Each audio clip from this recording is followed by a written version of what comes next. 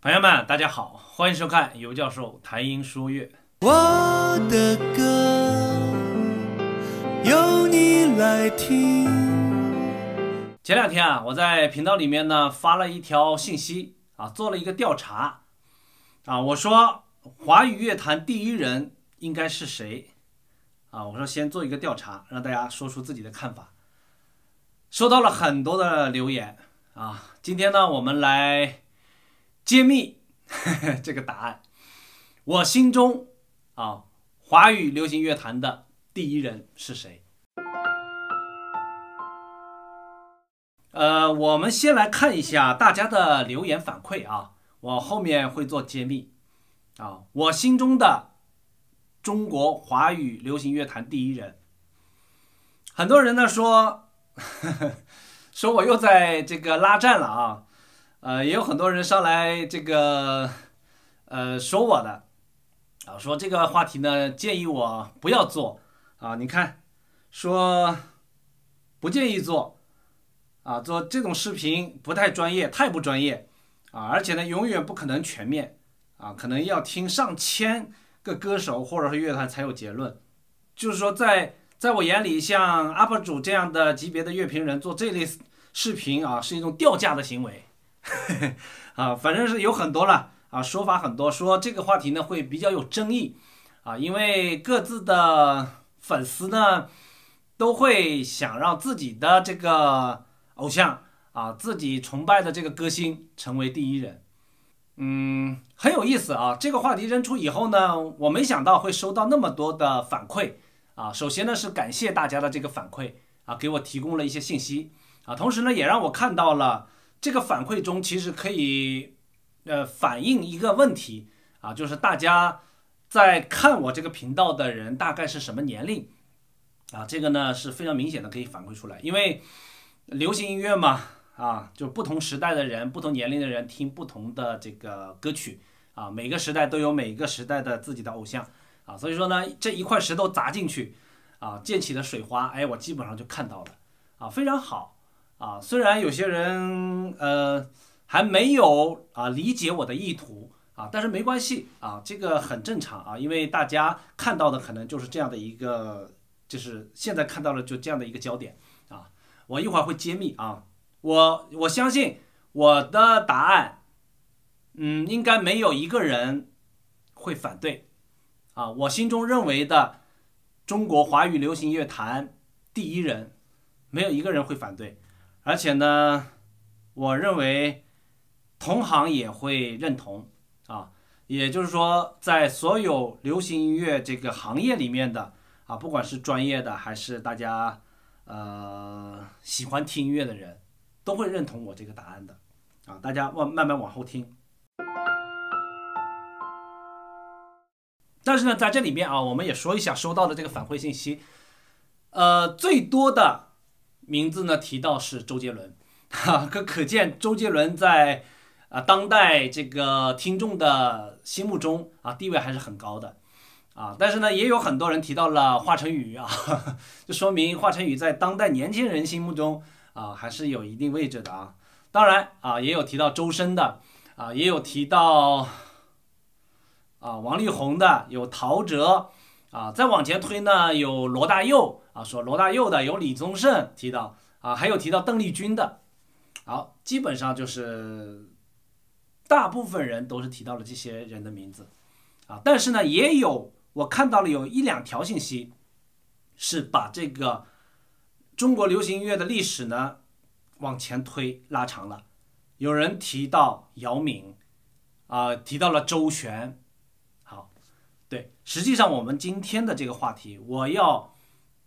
主要想给大家介绍的一个人，就是在中国流行音乐发展的历史上非常值得大家纪念的一个人，也是大家应该要记住的一个人。但实际上，这个人的名字，这个人的事迹，在我们中国的华语乐坛，或者是在我们，呃，中国人的这个听众中，却很少有人知道。啊，为什么会这样呢？是因为这里面有一些历史的原因。一会儿我再揭秘。这个人是谁呢？我们先说吧，这个人他都做了哪些事情啊？我们可以这么讲，这个人是中国流行音乐第一人，同时呢，也是中国歌舞活动第一人。他是在中国的历史上第一个开设了中国专门培养歌舞人才的歌舞学校，他开创了中国的第一家歌舞团、歌舞表演这样的团体。他写下了中国的第一首流行歌曲，从而打开了中国流行音乐的一个历史的大门，啊，掀开了中国流行音乐历史的篇章。但是呢，几乎没有人知道，当我们今天在享受着流行音乐的这个发展的成果的时候，我们把自己的老祖宗 给忘掉了，啊，所以说这个人被称为中国流行音乐的鼻祖。中国流行音乐的奠基人，知道是谁吗？好，我在这儿再停一下，让大家留言。大家知道是谁吗？有知道的赶紧把名字打上来。我估计很多人都不知道，不仅是我们现在的年轻人不知道，甚至连很多音乐专业的都不知道，啊，甚至连很多搞流行音乐专业的人都未必知道。这个人呢，叫。李景辉，李景辉究竟是何许人也？大家今天开始记住这个人的名字。如果没有李景辉打开、掀开了中国流行乐的大门，啊，我不知道我们后面的历史会是怎么样。一九二七年，李锦辉写下了中国历史上的第一首流行歌曲，被业界公认的啊第一首流行歌曲《毛毛雨》。毛毛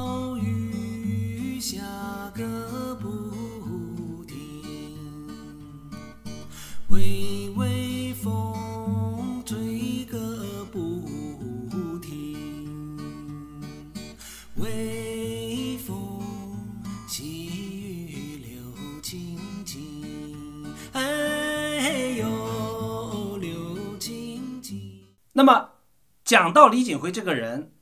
啊，他的几个第一，第一个。啊，我们讲了，他开创了中国流行音乐的先河，就是创作了所谓标志流行音乐啊诞生的这首《毛毛雨》。第二个，在三十年代啊，也就是说中国流行音乐的第一个萌芽时期啊，也就是中国流行乐刚刚兴起的那个时期，我们为什么把它叫做奠基人？因为。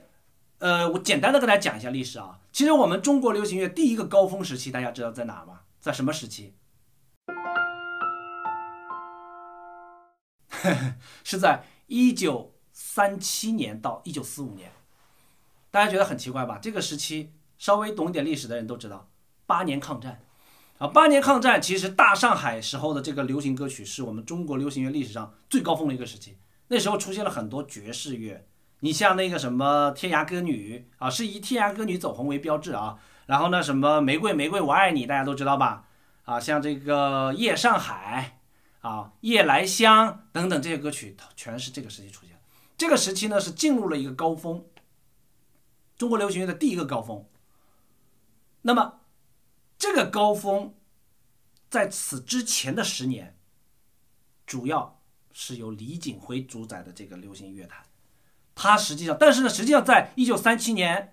到四五年这个时期，李景辉已经退出了乐坛了，他的影响已经没那么大了，所以大家都不知道啊。大家可能知道李景辉的弟弟李景光啊，写了《夜来香》那首歌，大家可能知道写《夜上海》的啊那个陈歌辛啊，就是陈刚啊，上海音乐学院教授啊，著名的作曲家陈刚教授的爸爸啊，就陈刚就是写那个小提琴协奏曲《梁祝》啊里面的其中作者之一。啊，陈刚和战豪嘛，啊两个人，啊陈刚的父亲就陈歌辛啊，写了什么《夜上海》啊，啊像这个《恋之火》呀，啊写了一批啊这个非常脍炙人口的流行歌曲。但是呢，李景辉在这个时期大家已经不知道了，为什么？因为李景辉在三六年就基本上三六年以后就基本上就没有什么太大影响了。但是我们讲他是第一人，他对。下面这个时代，对三四十年代流行乐的高峰的影响是巨大的。我们来说几个事件啊事情。第一，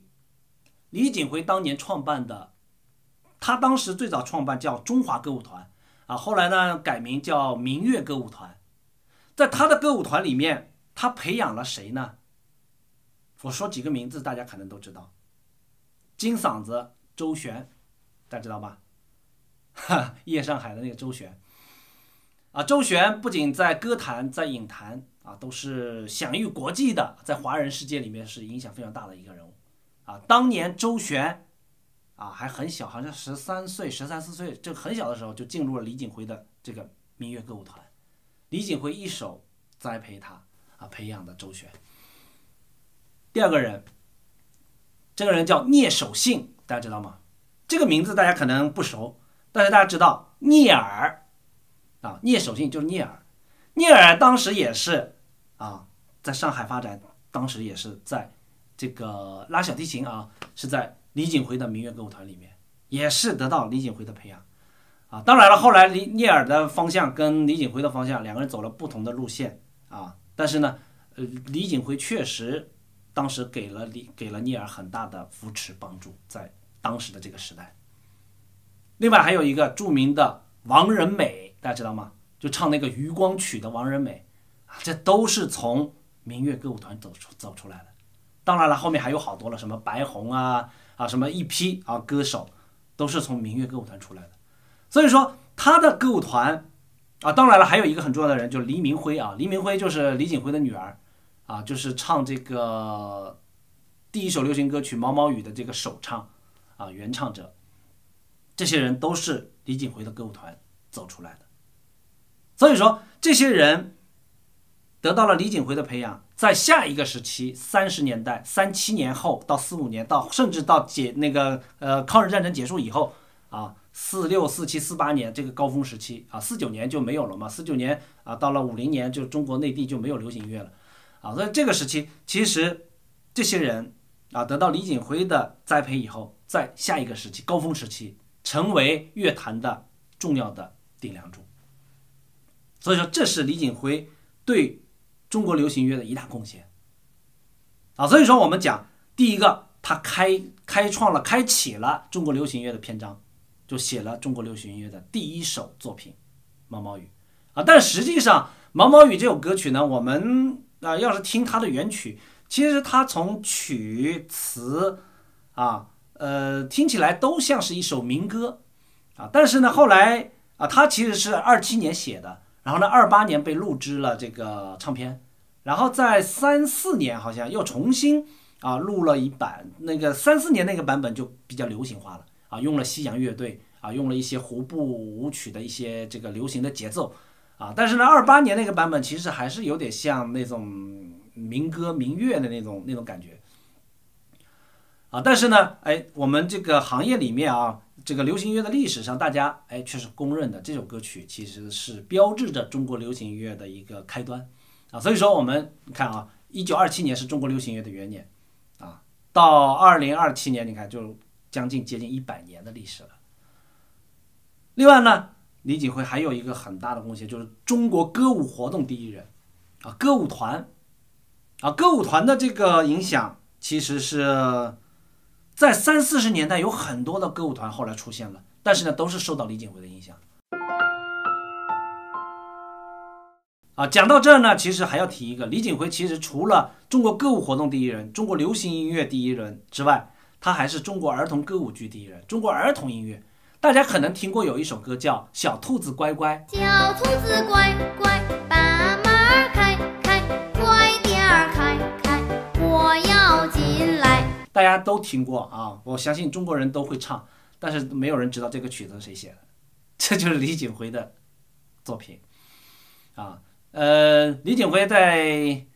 二十年代，他写了有十二部儿童歌舞剧。这些歌舞剧成为当时就是儿童音乐非常重要的这样的一批音乐作品啊，他还写了很多儿童歌曲，影响是非常大的啊。我们在二零零六年的时候，呃，当时呢是由前国务院副总理李兰清同志提出来说要复排李锦辉的十二部儿童音乐剧、儿童歌舞剧啊，当时是中国教育电视台承接的这个项目。后来呢，我们学校呢是接了两部戏啊，我当时是做这个音乐总监，一部一部呢是《月明之夜》，一部呢是叫《七姐妹游花园》啊。因为当时李兰清他们从小的时候是听的这些歌曲长大的啊，所以他退休了以后呢，就是要研究音乐史嘛啊，然后他一心想替这个李锦辉翻案。啊，为什么呢？因为李锦辉，呃，是因为写流行歌曲嘛，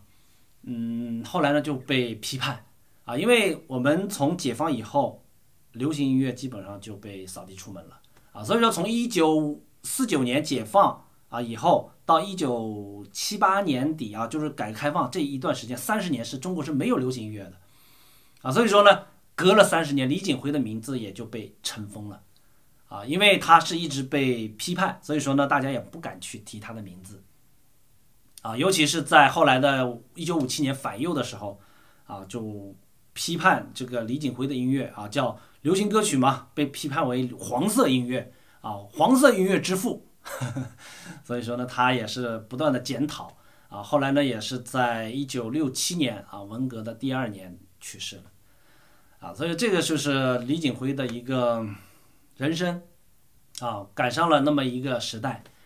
啊，所以说，如果我们今天再看啊，李锦辉的歌曲，当时说他写的是黄色歌曲，啊，他最有名的有一首歌曲，除了《毛毛雨》之外，啊，当时被批判的有两两首歌，一首是《毛毛雨》，还有一首呢是叫《桃花江》，啊，什么桃花江是个美人窝，桃花江是美人窝，什么什么桃花千万朵啊，就是其实他就是写这种有一点像，就像现在的那种情歌。啊，打情骂俏那种感觉，啊，但实际上，啊，当时就批判啊，这些歌曲是说是不健康的啊，就是精神污染。但实际上，大家知道中国的古诗啊，我们在《诗经》的开篇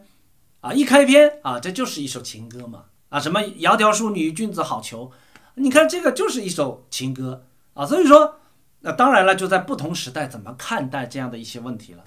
啊。另外呢，还有一位就是李锦辉。他是非常前卫的一个人，他呢在当时大家知道，就是在新文化运动之后，上海是一个中中国新文化的一个重要的一个中心嘛，啊，所以说音乐你看啊也是啊主要集中在上海，啊，当年的上海呢就涌进来了很多西方的一些东西，流行音乐啊，百老那个歌舞剧啊，百老汇的歌舞剧啊都进来了，所以李锦辉呢就很快就吸收了这些东西。然后呢，他把它用到了自己的音乐中，但是呢，他的思维，他的这个思路，啊，他是超前的，他远远要领先于别人。所以说，在那个时候，他写了流行歌曲，尤其在歌词上，啊，他就写了很多就是年轻人喜爱的啊，就是一些关于情歌的这样的一些东西啊，叫家庭爱情歌曲嘛，他那个，所以说呢，后来就受到了很多批判啊。但是呢，其中很重要的一点，就是因为大家知道。这个三十年代啊，这样的一个时期啊，中国是面临一个国破家亡啊这样的一个救亡时期啊，很多救亡歌曲出来了。但是呢，李锦辉呢，他是热衷于一直热衷于流行音乐的写作，所以他没有走向那个就是救亡歌曲。前十年啊，李锦辉那些流行歌曲影响太大了，以至于就盖住了他啊所。所写的一些就是跟救亡有关的一些内容，所以大家就就把这个矛头就对向他。你就是你看国破家亡了啊，你人家在写大刀向鬼子们的头上砍去啊，你还在那卿卿我我、缠缠绵绵的爱情歌曲啊，而且呢还软化人们的意志啊，说你这个流行歌曲那不就是靡靡之音吗？啊，那就是黄色歌曲啊，毒害这个年轻人的意志，毒害人民的意志 啊，所以说这个就后来批判的越来越厉害啊，所以说就就就在历史中就被打到了。啊，你想啊，就是在那个文革时期啊，在反右时期那个时代啊，那你这个啊，要是戴上这样的一个帽子啊，那是批斗肯定是可想而知的。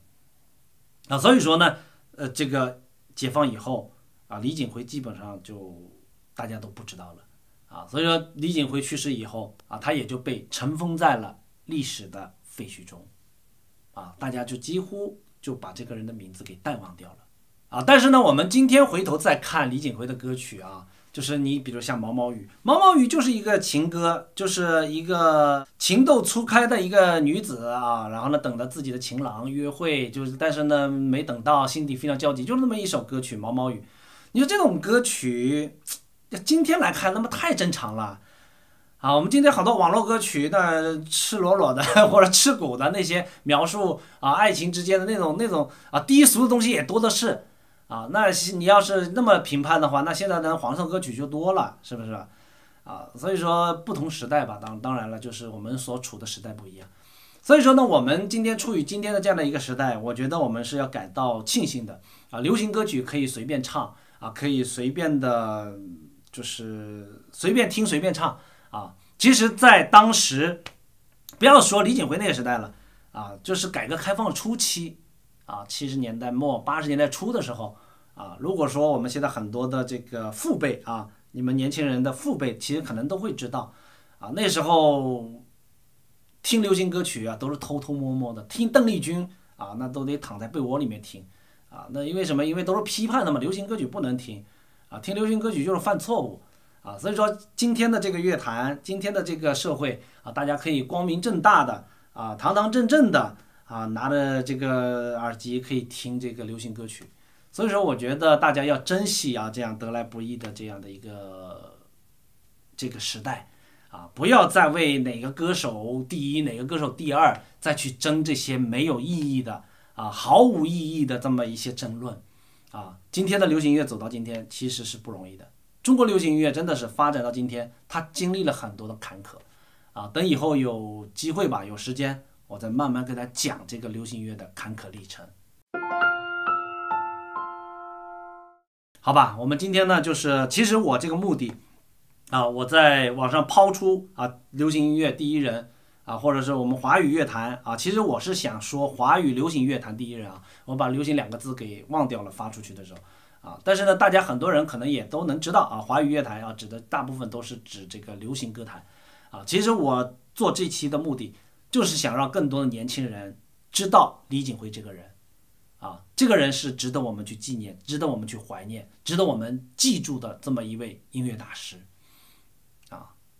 呃，对，顺便说一下，其实李锦辉他们的家族，他们家有八兄弟啊，非常厉害的，叫李氏八俊。他的哥哥是谁呢？叫李锦熙，是中国的著名语言学家。李锦熙是谁？是当年是毛泽东的老师，啊，然后呢，他的弟弟叫李锦光。李锦光是谁呢？李锦光是也是一个作曲家，后来写《夜来香》的那个作曲，非常有名的，